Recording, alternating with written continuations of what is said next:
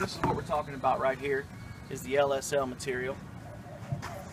As far as that product, when it hits the ground and it hits the job site, I can go out there or send any of my guys out there at any given point, tell them I want to stick of material, they can go out there and grab it and bring it in, and it's straight.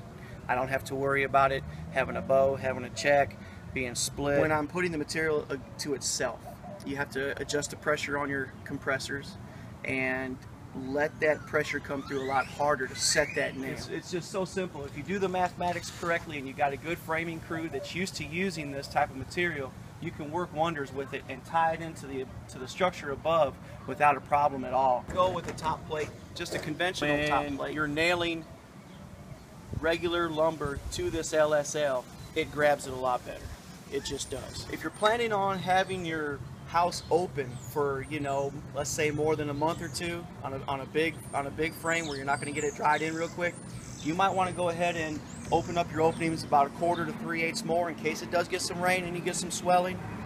Um, it will not pull moisture out of the air and swell up but it will swell up upon moisture contact. This like is such a crisp good corner on there and I can just run my plywood and it's just it turns out beautiful.